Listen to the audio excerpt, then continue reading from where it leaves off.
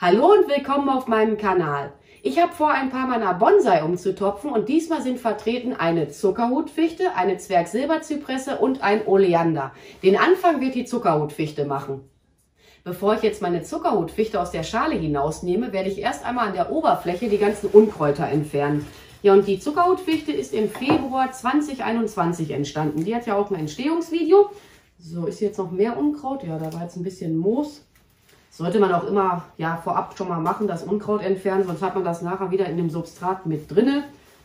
Wenn da ein bisschen jetzt was zurückbleibt an Unkräutern, ist jetzt auch nicht so tragisch, aber das, was man jetzt schon mal erkennen kann, kann man jetzt besser schon mal im Vorfeld entfernen. So, das kommt aber jetzt mal auf den Boden, weil ich werde jetzt nicht gleich das gesamte Substrat einfach mal entsorgen. Das wird gemischt werden mit neuem Substrat. Für die Zuckerhutfichte hatte ich jetzt auch ein Substrat extra für Nadelhölze, Nadelgehölze verwendet. Ui, ui, ui, ui. Und die steht jetzt in einer sogenannten Air Pruning Schale. Weil ich wollte jetzt unbedingt mal sehen, wie die sich entwickelt hat.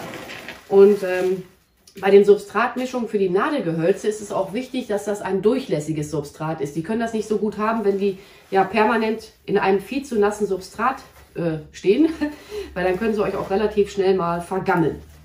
So, die hat aber eine Menge neue Wurzeln gebildet. Eigentlich hätte ich sie auch noch gar nicht umtopfen brauchen. Ich hatte vorhin einmal ja so testweise ein bisschen dran gezogen und da hatte ich so den Eindruck, die muss umgetopft werden. Aber hätte ich jetzt ehrlich gesagt gar nicht machen brauchen. Aber jetzt gucke ich mir die trotzdem mal ein bisschen genauer an. Ich werde jetzt hier die Wurzeln mal auseinandernehmen, aber ich glaube, ich wechsle mal die Perspektive für euch. Ich bin jetzt dabei, den Wurzelbereich ja so weitestgehend von dem Substrat zu befreien. Und dann gucke ich jetzt gleich mal, ob ich auch einen Teil der Wurzeln schon schneiden kann. Aber ich denke, da sind jetzt auch ein paar Wurzeln, die eindeutig zu lang geworden sind. Ja, alle Wurzeln, die jetzt so extrem nach unten hinhängen, die werde ich jetzt gleich abschneiden. Und ich versuche auch meine Nadelgehölze immer vor dem April umzutopfen. Ich wollte schon umtauschen sagen. Es ist dann immer besser für die Nadelgehölze.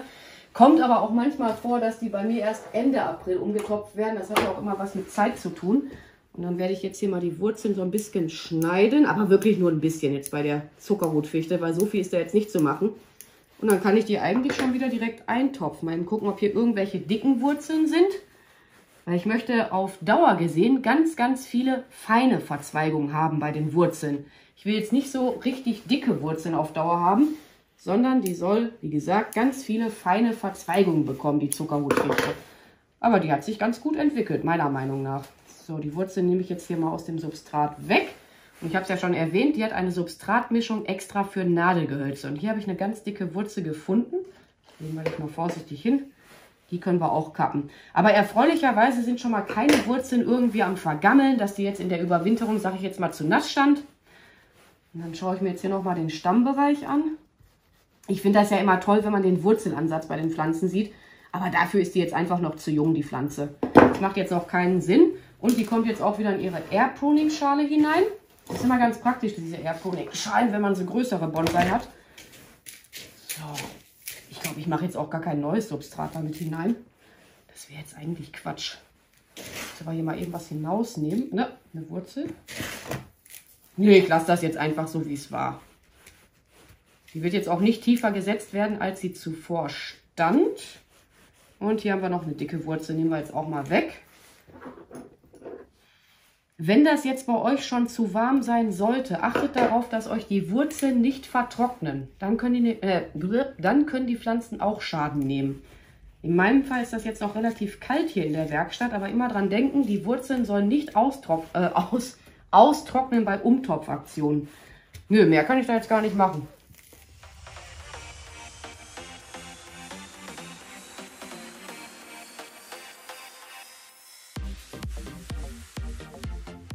Und jetzt werde ich mit meiner Wurzelkralle das Substrat einarbeiten, damit da an den Wurzeln keine Hohlräume sind. Also dass das Substrat wirklich überall ordentlich an den Wurzeln verteilt ist. Weil das mögen die Pflanzen nicht, wenn da so Hohlräume an den Wurzeln sind.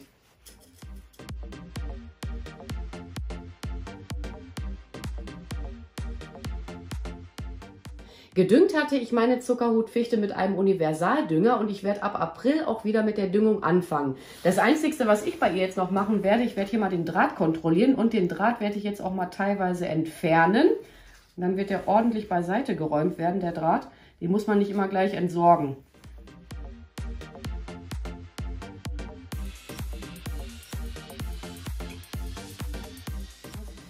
Ziehen wir dich mal wieder so einigermaßen gerade. Dann kommst du erstmal dahin. Ja, und beim Drahtentfernen solltet ihr auch immer vorsichtig arbeiten, weil dabei können auch gut und gerne mal ein paar Äste abbrechen. Ich glaube, diesen dicken hier, den kann ich jetzt auch entfernen. Und wer jetzt kein Harz an den Händen haben möchte, der sollte bei der Zuckerhutfichte Handschuhe tragen. Mich stört das jetzt nicht, weil diesen Harz kann man super mit, jetzt kommt's, mit Butter oder halt mit Olivenöl entfernen. Dann einfach die Hände damit einreiben und dann abwaschen. So, jetzt habe ich aber hier irgendwas überkreuzt. Muss ich eigentlich noch dran lassen. Mal gucken. Naja, da hatte ich einen so einen dünneren Draht, den hatte ich da natürlich drüber gewickelt. Das war jetzt eine super Idee. ich glaube, der hier muss nämlich noch dranbleiben. Die halten noch nicht so ganz die Form. Äh, ja gut, dann lasse ich das jetzt erstmal so. Sieht dann zwar ein bisschen komisch aus, aber jetzt kann dieser dicke Draht schon mal nicht mehr in das Ganze einwachsen oder in die, wie das, in die Rinde einwachsen. Jetzt überprüfe ich hier mal die feineren Drähte. Die können nämlich auch ganz schnell mal so Abdrücke hinterlassen. Aber ansonsten sieht das alles schon mal so weit so gut aus. Hier habe ich so eine Stelle, da sollte ich den wirklich mal lösen. Der ist zu nah. Ich glaube, der ist auch minimal eingewachsen. Ja, das kann halt mal passieren. Ne? Ich bin ja auch noch Anfänger, was die Bonsai angeht. Den muss ich jetzt lösen. Oder man schneidet den Draht einfach auf. Ne? Das kann man auch machen. Will ich jetzt aber nicht machen, weil ich hebe den wirklich so lange auf, bis ich den nicht mehr verwenden kann. Ich hatte jetzt noch Glück gehabt, der Draht war doch nicht eingewachsen. So, und jetzt wird meine Zuckerhutfichte schon mal etwas angegossen. Die war nämlich schon wieder relativ trocken geworden. Bevorzugt gieße ich meine Bonsai immer mit Regenwasser, es sei denn, meine Regentonne ist jetzt wirklich ja, leer. Dann gieße ich sie auch mal mit Kranberger und die stellen wir, die stellen wir jetzt erstmal hier hin. Dann kommt jetzt mal die, ich wollte schon Zuckerhutfichte sagen, die, nein, nicht Lerche, meine Güte, Zwerg-Silberzypresse dran. Das kann hier schon mal eigentlich, ja, das heißt entsorgt werden, kommt da jetzt oben drauf. Die Unkräuter habe ich jetzt einfach entsorgt vorhin. Die sind ja jetzt nicht mehr vorhanden. Und dann kommt jetzt die Zypresse dran. Meine Zypresse stammt aus 2020 und die hat eine Substratmischung aus Kokoserde und Blähton. Wenn ich mich jetzt richtig erinnere, hatte ich damals zwei Teile Kokoserde und einen Teil Blähton verwendet. Unkräuter muss ich jetzt bei der hier nicht entfernen, da sind Gott sei Dank keine vorhanden und dann nehmen wir dich jetzt hier mal aus dem Topf hinaus. Die soll nämlich jetzt in eine richtige Bonsai-Schale kommen, weil so gefällt mir das jetzt ehrlich gesagt nicht mehr. Ich hätte die jetzt in dem Topf auch noch drinnen lassen können, aber wie gesagt, die soll jetzt in eine Bonsai-Schale kommen.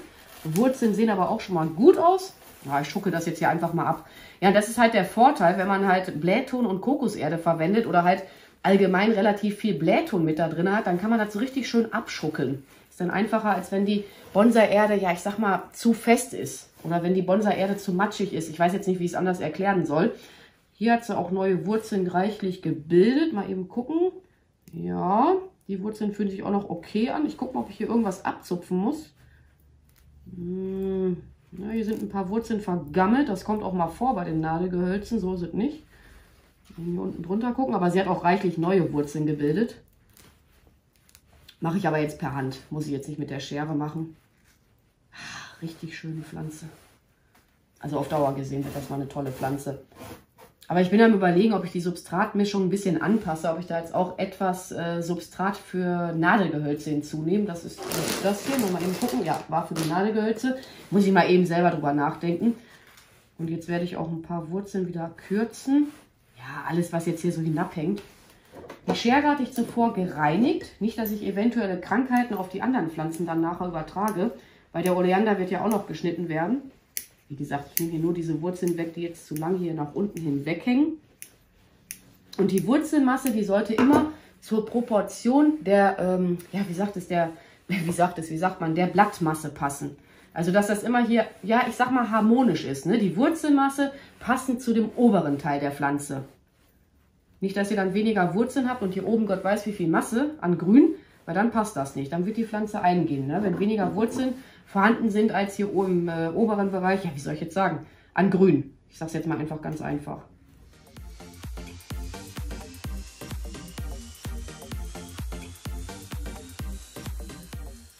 So, jetzt muss ich mal eben überlegen, welche Bonsai-Schale ich nehme, weil da gehen die Meinungen auch total auseinander. Ich versuche das immer ja harmonisch hinzubekommen mit den Bonsai-Schalen, aber ich kann jetzt auch nicht andauernd neue Bonsai-Schalen kaufen, bei den Nadelgehölzen bevorzuge ich matte Bonsai-Schalen, also die unlasiert sind. Man kann aber auch lasierte nehmen. Letzten Endes macht einfach das, was euch gefällt. Und ich versuche immer danach zu gehen, ja, dass das zum Beispiel passend ist zur Rinde oder zur Blattfarbe. Danach gehe ich dann immer. Und dann gibt es auch Bäume, die sehen halt ein bisschen filigraner aus. Dann gibt es Bäume, die sehen so ein bisschen rustikaler wieder aus. Aber jetzt bin ich am überlegen, ob die Schale ein bisschen zu klein ist. Wobei, der soll ja klein bleiben. Soll ja kein Riesenbonsai mal werden. Ich glaube, ich muss auch noch ein bisschen was bei den Wurzeln abschneiden. Ich muss mal eben selber nachdenken. Die Wurzeln, die jetzt hier oben so hinausschauen, die nehme ich jetzt mal weg. Das wird mir sonst optisch nicht so gut gefallen. Zack. Mal gucken. Nee, die kann dranbleiben. Die könnten wir so ein bisschen justieren. Mal schauen. Nehme ich jetzt die Schale oder nehme ich die nicht? Nee, eigentlich ist das aber okay. Doch, ist okay. So, ich wollte dir aber jetzt auch ein bisschen frisches Substrat geben. Muss mal eben einen Eimer rüberholen. Aber ich gucke noch mal nach, ob ich jetzt wirklich zwei Teile Kokoserde und nur einen Teil Blähton verwendet hatte, weil ich bin mir jetzt ehrlich gesagt ein bisschen unsicher. Und das alte Substrat wird jetzt mit dem neuen Substrat ja so durchgemischt werden. Das ist nämlich immer Quatsch, das alles gleich zu entsorgen, das Substrat. So, jetzt wir die hier mal ein bisschen anpassen, Schätzchen. So, die wollte ich hier ein bisschen anders haben, die Wurzeln. Ich sortiere mir die jetzt so ein bisschen. So. Nee, aber die Schale ist okay. Doch, von der Proportion her gefällt es mir persönlich. Aber wie gesagt, da gehen die Meinungen dermaßen auseinander. Habe ich jetzt meine Wurzelkralle? Wo ist meine Wurzelkralle? Muss jetzt auch hier wieder so eingearbeitet werden. Und ich halte mal die Hand ein bisschen anders. Ja, immer darauf achten, dass ihr keine Hohlräume an den Pflanzen habt. Das ist ganz, ganz wichtig. Weil sonst können die sich nicht so gut entwickeln.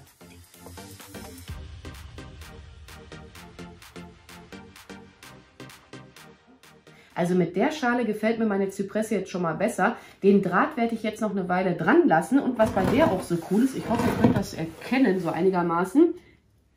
Da ist Platz zwischen den zwei Hauptwurzeln. Ne? Hier ist ja eine ganz dicke Wurzel und da ist eine dicke Wurzel. Und irgendwann wird das noch ein bisschen mehr von mir freigelegt werden. Aber wir reden hier gerade über Jahre. Was ich jetzt noch machen muss, das ist mir gerade aufgefallen, als ich an ihrem Arbeiten war. Hier war irgendwo so ein komischen Stummel. Ich weiß nicht, warum ich den nicht entfernt hatte. Na, was war denn da jetzt dran an meiner Konkavzange? So. Da das jetzt eine kleine Mini-Wunde ist, werde ich da jetzt keine, wie heißt es, mein Gott, Wundaste drauf machen. Ja, sieht schon mal schöner aus. Angegossen hatte ich die kleine jetzt auch. Und dann ist jetzt mein Just for Fun Projekt dran, mein Oleander. So, du kommst, ja, du kommst mal dahin, jetzt nicht runterfallen. Der Oleander ist aber jetzt wirklich nur ein Just for Fun Projekt. Ich hatte überlegt, ob ich ihn in diese Plastikschale noch setze oder ob der auch eine Bonsai-Schale bekommen wird. Sähe auch hübscher aus. Also es macht schon was aus, wenn die dann in richtigen Bonsai-Schalen stehen. Aber der Oleander ist definitiv durchgewurzelt. Ja, auch mal hier ein bisschen abschütteln. Hat auch eine Mischung aus Kokoserde und Blähton. Ach ja, und die haben alle drei den gleichen Universaldünger bekommen. Ne? Alles genau der gleiche Dünger, gew äh, Dünger gewesen. Die einzigen Pflanzen, die ich zum Beispiel anders gedüngt habe, waren die Zitruspflanzen.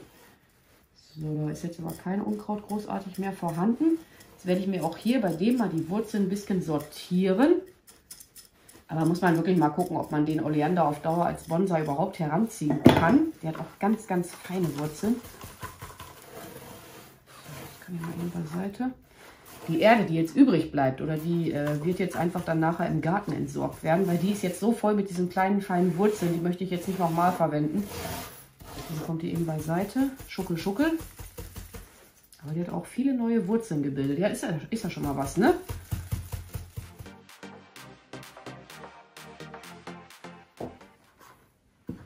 das sieht schöner aus. Der bekommt jetzt auch eine richtige Bonsai-Schale. Nachher wird er auch etwas geschnitten werden. Aber der Oleander ist leider giftig. Ihr solltet darauf achten, dass ihr diesen milchigen Saft, der dann nachher beim Schneiden austritt, nicht auf die Haut bekommt. Wenn das der Fall sein sollte, sofort am besten die Hände waschen, weil der kann allergische Reaktionen hervorrufen. Muss er nicht, aber kann er. Und ähm, ich werde jetzt gleich aber einfach vorsichtig ohne Handschuhe schneiden. Aber hier muss echt noch ein bisschen Substrat rein. Bei den Wurzeln muss ich jetzt nichts abschneiden. Ne? Das ist alles soweit in Ordnung. Aber ich bin echt mal gespannt, wie der in ein paar Jahren aussieht, der Oleander.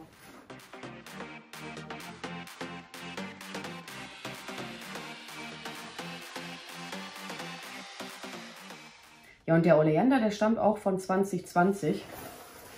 Aber ich glaube, auf Dauer gesehen wird das auch was werden mit ihm. Ich muss sowieso meine ganzen Oleander auch noch schneiden, jetzt nach dem Winter. Also die großen Oleander. Oder was heißt groß? So groß sind die jetzt auch noch nicht. Und ähm, im Sommer hatte ich das bei meinen Oleandern immer so gehandhabt. Hier waren Untersetzer drunter oder auch bei den großen Oleander. Und da hatte ich dann auch immer Wasser drin gelassen, weil die sollten nicht vertrocknen, die Oleander.